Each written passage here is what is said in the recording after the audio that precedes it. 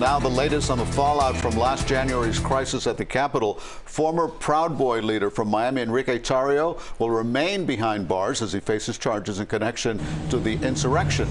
CBS 4's Ted Scouten spoke to Tarrio's attorney and joins us with that reaction as well as what the prosecutor has to say. Ted? Yeah, Elliot, more than a dozen family and friends were in court, two of them even offering to put their homes up for collateral, trying to bond him out. The judge said no, he's going to stay locked up.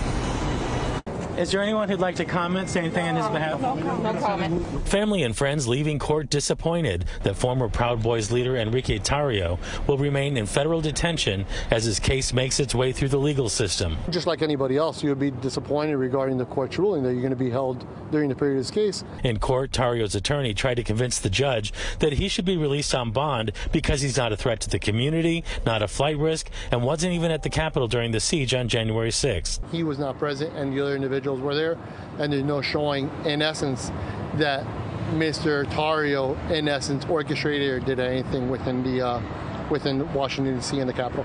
Those prosecuting Tarrio have a much different take. In arguments to the court, they said he spearheaded the conspiracy and even formed a new chapter of the Proud Boys called the Ministry of Self Defense. They argued that even though he was not in Washington, D.C. during the attack, he continued to exercise command and control.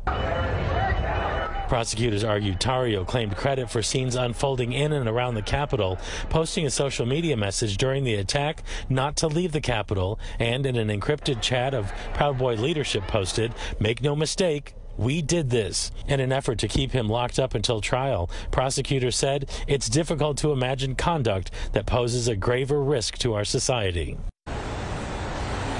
Now, the judge ordered that Tarrio be moved to Washington, D.C. That's where this case is going to be heard. Meanwhile, the next hearing is set for a week from today.